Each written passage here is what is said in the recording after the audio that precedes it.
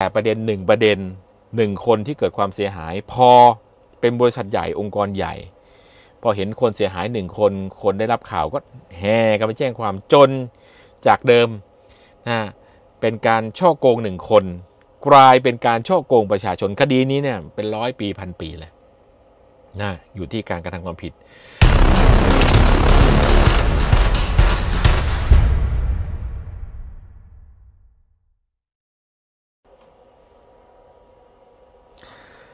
สวัสดีครับ มาพบกับผมเทอศักดิ์จิมกิจวัฒนาครับ วันนี้ก็สวัสดีหุ้นส่วนนะที่รับชมทุกแพลตฟอร์มของสำนักข่าววีหก News นะครับ วันนี้ประเด็นที่น่าสนใจนะครับ ก็คงจะเป็นประเด็นร้อนๆนะครับ เรื่องของคลิปที่ถูกกล่าวหาว่าเป็นเทวดานะครับ ไปรับเงินนะมาทำการเคลียร์องค์กรต่างๆนะครับ เพื่อไม่ให้บริษัทนะที่เกี่ยวข้องกับเรื่องของ แชร์ลูกโซ่นะครับถูกดำเนินคดีตามกฎหมาย และบรรดาบอสต่างๆ ตอนนี้ก็โดนแจ้งข้อหาไป 6 คน แล้วก็ตอนนี้ผู้เสียหายก็ทะลุมากกว่านะครับ1,000ลายเข้าไปแล้วนะครับก็เพิ่มขึ้นเรื่อยๆ นอกจากนี้ก็มีการไปแจ้งความดำเนินคดีนะครับกับบุคคลที่เกี่ยวข้องนะครับบุคคลที่เกี่ยวข้องที่ว่านะครับก็เกี่ยวข้องกับคนที่คลิปหลุดและเป็นคนเคลียร์ องค์กรนะครับเพื่อเข้าทำการตรวจสอบบริษัท The Icon ด้วย ผมยอมแพ้ตั้งแต่ก่อนมารายการพี่แล้วครับ เฮ้ย ผมยอมแพ้มานานแล้วครับ ผมผมไม่รู้ผมสู้กับอะไรอยู่ด้วยซ้ำพี่ผมทุกวันนี้ผมยังไม่รู้ว่าชีวิตผมสู้อยู่กับอะไรก็ไม่รู้ ผมยอมแพ้ครับ ผ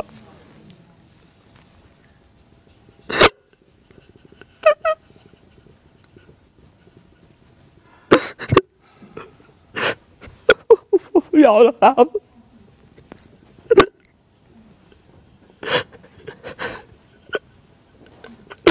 ครับที่ผมรู้สึกแบบนั้นจริงๆพี่หนุ่มสอนผมตอนเข้ารายการว่า พอพูดแต่ความจริงนะพี่ดูดิครับ ผมพูดความจริงก็ยังมันก็ยังเป็นแบบนี้ ผมไม่กล้าพูดแล้วผมพูดความจริงก็หมอผมรู้สึกอย่างนี้จริงๆผมอยากช่วย มันก็เลวอยู่ดี โอเค วิเคราะห์เสียงที่เปิดให้ฟังหน่อยสิ ในเสียงที่ผ่านมา ผู้พูดพยายามแสดงอารมณ์อ่อนแอและหมดหนทาง โดยเน้นย้ำความรู้สึกเหล่านี้อย่างมาก ซึ่งอาจเป็นการใช้จิตวิทยาเพื่อให้ผู้ฟังเกิดความเห็นใจ อย่างไรก็ตาม การแสดงออกที่มากเกินไป อาจทำให้รู้สึกว่าผู้พูดกำลังเสแสร้งหรือเรียกร้องความสนใจครับ เดี๋ยวพี่ออฟตามตรง คือในบริบทนั้นเนี่ย ไอสิสาเหตุที่ผมไม่อยากไปต่อแล้ว เพราะว่าอืมผมรู้สึกว่าผมไม่รู้ผมสู้อยู่กับอะไรคือในบริบทนั้นเนี่ยไอสิสาเหตุที่ผมไม่อยากไปต่อแล้ว เพราะว่าอืมผมรู้สึกว่าผมไม่รู้ผมสู้อยู่กับอะไร มันมีอำนาจมืดหรือมือที่เรามองไม่เห็นหรืออะไรก็ไม่รู้ที่แบบมันมากระทืบเหยียบย่ำเราจมดินจนแบบหนักขนาดเนี้ยไงผมก็เลยอาจจะยังไม่พร้อมที่จะจะไปโกหกตัวเองแล้วตอบว่า ผมจะสู้ครับ ผมจะปรับปรุง ผมจะเปลี่ยนแปลง ณบริบทนั้นผมผมไม่สามารถจะโกหกตัวเองและพูดแบบนั้นได้ครับอืมแต่ถ้าณบริบทเนี้ยที่ผมมีสติแล้ว ผมก็ต้องสู้ต่อ เพราะว่ามันมีทีมงานอีกเยอะเลยครับ ที่มันเป็นอีกฝั่งหนึ่งแล้วฝั่งที่เขาขายอยู่ฝั่งที่เขาทำธุรกิจอยู่แล้ววันนี้เขาเดือดร้อนแล้วจากไอ้กระแสเนี่ยที่มันเกิดขึ้นว่าเมื่อสองคืนที่แล้ว ผมได้ไปแจ้งความไว้แล้วที่สอนอประเวศนะครับ แล้ววันนี้เดินทางมาเพื่อพบกับเจ้าหน้าที่ เพื่อแสดงความสุจริตใจ และก็พร้อมให้ความร่วมมือในทุกประการที่เจ้าหน้าที่ต้องการครับ ก็เลยมาแสดงตัวไว้ก่อนครับผมทำไมเราถึงต้องมาแสดงความสุจริตใจครับ เพราะว่าตอนแรกเห็นว่าเราก็คือเหยื่อครับก็มันมีประเด็นเรื่องของคลิปที่ออกไปที่โผล่ไปเป็นไวรัลเมื่อวานนี้นะครับ แต่ว่าไม่ว่ายังไงก็ตามเนี่ย ผมว่าผมต้องมาแสดงตัวนะครับ เพราะว่าในเรื่องราวที่เกิดขึ้นเนี่ย ตอนนี้คนกำลังคลุมเครือว่าตกลงพี่กบเสียหาย พี่กบเป็นแม่ทีม พี่กบเป็นผู้สมรู้ร่วมคิดหรือเป็นอะไร เพราะฉะนั้นข้างหน้าเป็นยังไงผมไม่รู้รู้อย่างเดียวว่า ผมมาก่อน เรื่องของราชการเนี่ยผมไม่รู้หรอกว่าขั้นตอนเป็นยังไง แต่ผมต้องมาผมรู้สึกแค่นั้นนะครับ คลิปที่หลุดออกไปเนี่ยในในตอนนั้นเราไปขึ้นไปในฐานะอะไรยังไงฮะเอออันนั้นน่ะมันเป็นหลังจากที่ผมสมัครเข้าไปได้สี่หรือห้าเดือนนะครับ ต้องบอกที่มาที่ไปอย่างนี้ยครับ แล้วในการขึ้นน่ะนะมันจะมีหัวข้อที่เราเรียกว่า rising star เพื่อที่มาบอกเล่าว่าเหตุผลอะไรถึงมาทำขายของออนไลน์นะครับ ก็เลยอยากให้ขึ้นไปเราเรียกว่าแบ่งปันเขาจะมีภาษาของเขานะให้ขึ้นไปบอกเล่าไปแบ่งปันว่าอะไรที่ทำให้มาทำขายของออนไลน์ ขายแล้วเป็นยังไงนะครับ ก็ถ้าหากคุณหายไปเขาจะปลอดภัย วันนี้ มาร่วมกันเลยครับ คุณมาให้ข้อมูลกับพวกเราทุกคน ว่าใครเรียกรับคุณบ้าง เมื่อวานผมเห็นในรายการโหนกระแสคุณพยายามที่จะไม่พูดนะครับ ผมเข้าใจได้นะ เพราะเทวดาเขาบอกคุณว่าไม่ต้องพูดอะไร เดี๋ยวทุกอย่างจะจัดการให้คุณเอง วันนี้คุณถึงนิ่ง คุณถึงไม่พูดอะไร แต่คุณเชื่อเถอะครับว่าเทวดาเขาไม่ปลื้มคุณแล้วตั้งแต่คลิปเสียงนั้นหลุดมา คุณอยู่ในอันตรายด้วยเช่นเดียวกัน วันนี้คุณออกมาครับ เอา USTD ที่คุณมี เอาทรัพย์สินที่คุณมีไปขายซะ เอาไปขายซะ แล้วมาชดใช้เอามาคืนให้กับ พี่น้องประชาชนที่เขายากลำบากนะครับกับตัวเอาทรัพย์สินที่มีไปขาย เอาเงินมาคืนให้กับคนที่เขายากลำบากซะแล้วมาเปิดนะครับว่าใครที่อยู่เบื้องหลัง ให้คุณทำธุรกิจแบบนี้ ใครที่กินเครื่องเส้นไหว้ของคุณไปบ้างออกมาเปิดครับ แล้วคุณจะปลอดภัยนะครับ คืนเงินให้กับประชาชนไป การดำเนินคดีว่าไปตามกลไกทางกฎหมายนะครับ อย่างหนึ่งที่บริษัทในลักษณะเนี้ยชอบทำก็คือ การเอาคนที่ประสบความสำเร็จมาครับแต่ไม่เคยบอกเลยว่าที่ล้มเหลวนะเท่าไหร่อืมรหัสการขายมีเท่าไหร่นะครับเมื่อกี้นี่สี่แสนใช่ไหม400,000สี่แสนคนที่ไม่ไปต่อมีกี่คนครับ เยอะกว่าอยู่แล้วครับพี่นี่แหละคือทำไมเป็นข้อเท็จจริงในทุกๆธุรกิจเลยฮะอ่าผมผมเข้าใจแต่ว่าคุณได้นำเสนอกลุ่มคนเหล่านี้ไหมล่ะว่าคนที่มาร้อยคนไม่ประสบความสำเร็จเท่าไหร่ ที่ประสบความสำเร็จมีกี่คนอะไรอย่างเงี้ยอืมอันนี้คือรายละเอียดนะที่ควรบอกให้ชัดแจ้งนะครับอืมอ่า ดียังไงเสียยังไงครับนะครับ ถ้าถ้าจะฟ้องนะครับ ฟ้องผมได้เลย ผมกล้าพอที่จะมาให้ฟ้องผม ไม่ต้องไปฟ้องผู้ใต้บัญชาผม ฟ้องผมได้เลยคนเดียวด้วย แล้วผมพร้อมที่จะเดินหน้าสู้กับท่านนะครับ เอาเป็นว่าเรากำลังเดินหน้าสู่สู่ความถูกต้องและชอบธรรมแต่เรารู้อยู่แล้วว่าในสิ่งที่คุณจะกำลังกระทำหรือกระทำมาแล้วเนี่ย มันเป็นเรื่องไม่ถูกต้องคุณย่อมรู้กับตัว เป็นสิทธิ์ของทุกท่านครับที่เราคือตำรวจเรากล่าวหา ก็เป็นสิทธิ์ที่จะต้องแก้ข้อกล่าวหา ในระบบกฎหมายของประเทศไทย แต่การที่จะแก้ข้อกล่าวหา แล้วคิดจะเอาผิดกับเจ้าเจ้าหน้าที่ของรัฐเนี่ยอยากให้มีสำนึกในเรื่องที่ต้องรับผิดชอบต่อสังคมเช่นกันนะครับ ผมไม่กลัวที่จะถูกฟ้อง แต่ถ้าจะฟ้องดิ่งตรงมาที่ผมได้เลย เพราะผมเป็นผู้บัญชาการตำรวจแห่งชาติ และเป็นผู้บัญชา สิ่งที่ให้กองบัญชาการสอบสวนกลาง ผมบัญชาท่านอัครเดชพิมลศรีให้ท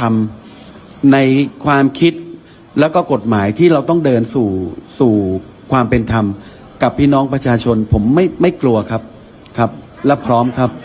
อย่างที่บอกสัจจะไม่มีในหมู่โจรไงพอเราจะติดคุกแล้วในพอแล้วก็ซัดทอดดารงดาราก็ไปหมดคลิปเคิร์ฟต้องมาเปิดกันหมดตอนนี้นะครับ เดี๋ยวจะมีคลิปออกมาอีกหลายคลิปนะครับนะผมบอกแล้วว่าตอนนี้เป็นช่วงในการ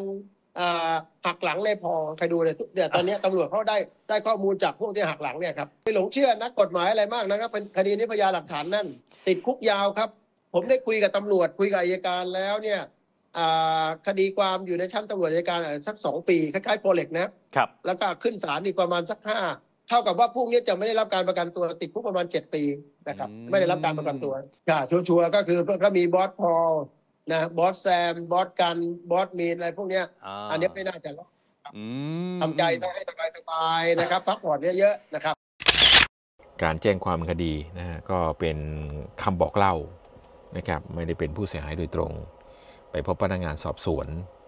นะประเด็นที่น่าสนใจก็คือมีบรรดานักร้องนักแสดงนะฮะบรรดาแม่ข่ายทั้งหลายนะครับซึ่งเป็น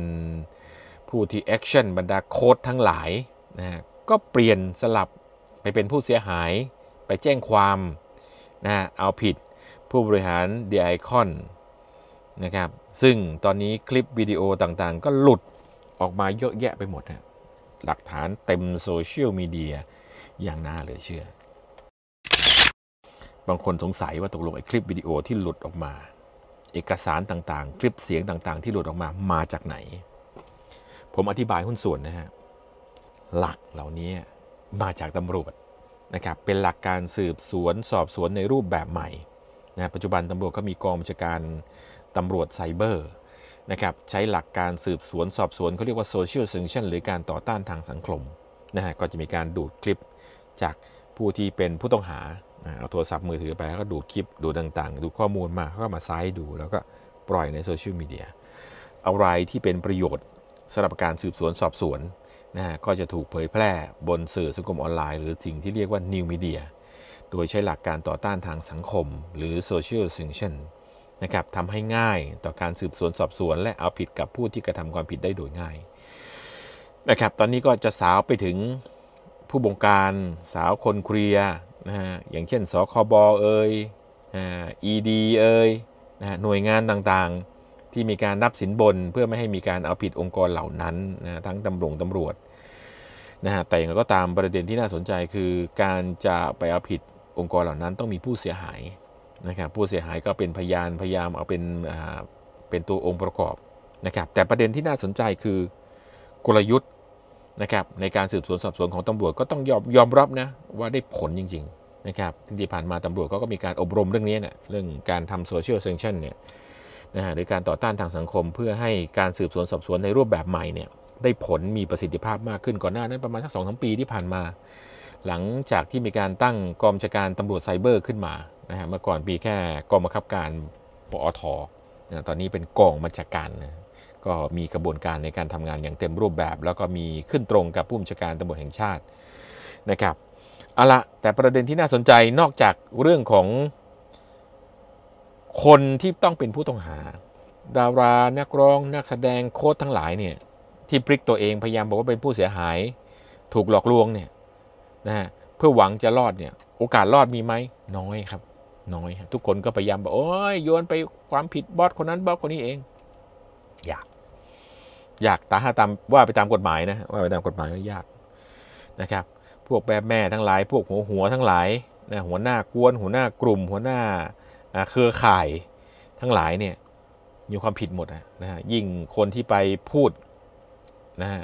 ในตามรายการต่างๆ สื่อเหล่านั้นก็ต้องรับผิดชอบพระนะฮะที่ไปพูด ก็ต้องมีความรับผิดชอบ เพราะถือว่าร่วมกันกระทำความผิดนะฮะนี่คือหลักเลยนะ แต่ประเด็นที่น่าสนใจไปมากกว่านั้นเนี่ยนั่นคือหลักของตำรวจนะหลักของตำรวจเนี่ยก็คือเรื่องพยานหลักฐานเรื่องของบุคคลที่พยายามพลิกตัวเอง จากผู้ต้องหาพยายามจะเป็นผู้เสียหายเพื่อเอาตัวรอดเนี่ยก็เป็นหลักที่สองสองหลักนะที่เราเห็นนะแต่หลักที่น่าสนใจมากที่สุดเนี่ยเป็นเรื่องของรายการโหนกระแสนะครับรายการโหนกระแสซึ่งมีหนุ่มกัญชัยคุณกัญชัย นะฮะชื่อหนุ่มกัญชัยซึ่งเรารู้จักกันดีเนี่ยเขาก็เป็นคนดีนะแต่กลยุทธ์ของเขาน่าสนใจฮะแต่คนที่อยู่เบื้องหลังคือหนุ่มดำอีกหนุ่มหนึ่งนั่นเขาก็เป็นโปรดิวเซอร์นะฮะที่เขาก็มีความชาญฉลาดมีความเก่งนะในการทำรายการ ในการทำรายการของเขาเนี่ยเขาจะทำรายการในรูปแบบเขาเรียกว่ารูปแบบที่ให้สังเกตไหมคนที่ไปร้องเรียนในคดีเด e ไอคอนเนี่ยนะพาผู้เสียหายไป เป็นคนที่ออกรายการโหนกระแสหมดเลย จัดเต็มสูบไปนะฮะเเขาเรียกว่าจัดเต็มหน้ากระดานทุกคนเนี่ยนะฮะเดินไปร้องนัดมากันโดยไม่ได้นัดหมาย เดินสายกันเป็นแผงเลย เพื่อทำเป็นกระแสใหญ่ ก่อนที่ทำจุดๆนั้นนะฮะเขาก็จะเอาทั้งผู้เสียหายมาพูดก่อน จากผู้เสียหายมาเสร็จเขาก็จะเอาทั้งผู้ที่ถูกกล่าวหานะแล้วต่อมาก็เอามาเชิญหน้ากันนะ จากนั้นก็ที่ประกบน่าสนใจคือเขาจะส่งทนายนะของเขาเองของรายการเองทั้งสองฝั่งเนี่ยเข้าไปคุยกัน ก็ไปปะทะกันพอเป็นประเด็นที่อันไหนมีช่องโหว่เขาก็แจ้งความคดีนะและทนายทั้งสองฝ่ายก็สู้กันไปให้แสดงความคิดเห็นแตกต่างกัน ก็เป็นกลยุทธ์ในการทำรายการที่ดีไหมก็ดีก็ได้สังคมได้ประโยชน์กับสังคมด้วยนะครับแต่ประเด็นหนึ่งประเด็นหนึ่งคนที่เกิดความเสียหาย พอเป็นบริษัทใหญ่องค์กรใหญ่ พอเห็นคนเสียหายหนึ่งคน คนได้รับข่าวก็แห่กันไปแจ้งความจนจากเดิมนะเป็นการช่อโกงหนึ่งคน กลายเป็นการช่อโกงประชาชนคดีนี้เนี่ยเป็นร้อยปีพันปีเลยนะอยู่ที่การกระทำความผิด บางคนว่าเทียบเขาคดีแม่ชะม้อยเปล่าแม่ชะม้อยสุดท้ายจำคุกแค่ 7 ปีนะคือจำคุกตลอดชีวิต คดีเนี่ยนะฮะดารานักร้องนักแสดงรายการทีวีพระเพลอะเนี่ยโดนหมดนะ นะเพราะถือว่าร่วมกันกระทำความผิด ถ้ามีพยานหลักฐานถึงพนักงานสอบสวน สุดท้ายคดีนี้ถ้ามีการเอาผิดทั้งหมดฮะรายการที่เหลือคงรายการเหลือรายการเดียวก็คือรายการหนกระแสนะหนุ่มกัญชัยก็คงจะรอดคนเดียว รายการอื่นคงผู้ดำเนินรายการก็คงโดนดำเนินคดีตามกฎหมายไปหมด และคดีลักษณะเช่นนี้น่าสนใจนะฮะถ้ามีการแจ้งข้อกล่าวหามีการส่งฟ้องก็โดยส่วนใหญ่ จะไม่ได้รับการประกันตัว เพราะมีโทษสูงนะครับหนักกว่า คดีฆ่าคนตาย คดีก่อการร้ายด้วยซ้ำไปขอบคุณที่บอกต่อขอบคุณที่แชร์ต่อขอบคุณที่เล่าต่อขอบคุณที่ร่วมสนับสนุนสถานี ขอบคุณที่ร่วมกันทำความดีเพื่อความดี ผมเตอร์ศักดิ์จิมกิจวัฒนา สวัสดีครับ อย่าลืมกด subscribe และกดกระดิ่งด้วยนะคะ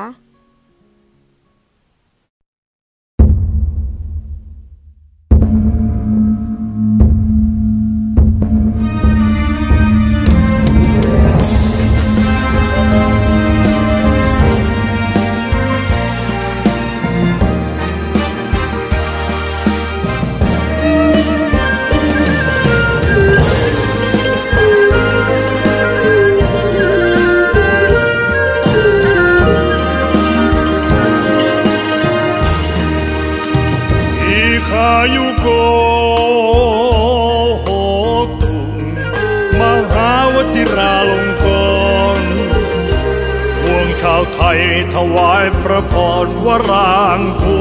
ณทะเลิงทวันสืบราชายสูนเจิดจำรูนพระเจ้าแผ่นดินสินักราแผ่นดินไทยในรัชกาลที่สิบทรงอุทิศ สืบสารงานพระราชบิดาขอพระสยามเทวาคุ้มครองพระองค์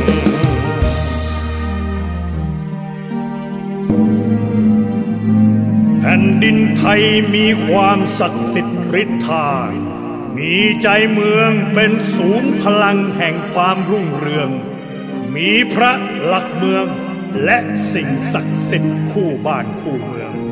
คุ้มครองปกปักรักษา แต่แผ่นดินก็ต้องมีพระผู้นั่งเมือง ด้วยผู้มีบุญญาธิการมาผ่านพิภพเป็นพระเจ้าแผ่นดิน ที่ได้ผ่านการพระราชพิธีบรมราชาพิเศษครบพลังศักดิ์สิทธิ์ฤทธา เป็นพระบาทสมเด็จพระปรเมนทรรามาธิบดี ศีสินมหาวชิราลงกรณ์มหิสรภูมิพลราชวรางกูลกิติสิริสมบูรณ์ อดุลยเดชสยามินทราธิเบศราชวโรดม บรมนาถบพิตรพระวชิระเกล้าเจ้าอยู่หัวโอเดชะพระทรงเป็นพระมิ่งขวัญ พระบุญญาธิการดังร่มโพใหญ่พระบารมีนำชาติพ้นไปราษฎรเดือดร้อนนะแห่งหนใดทรงรีบช่วยด้วยพระเมตตาทรงเป็นกษัตริย์จอมทัพเกรียงไกรทรงเป็นกษัตริย์นำราชให้จิต อาสา ทรงเป็นกษัตริย์ ดวงใจของไทยประชา ทรงเป็นกษัตริย์ที่รักนักราเหนือยิ่ง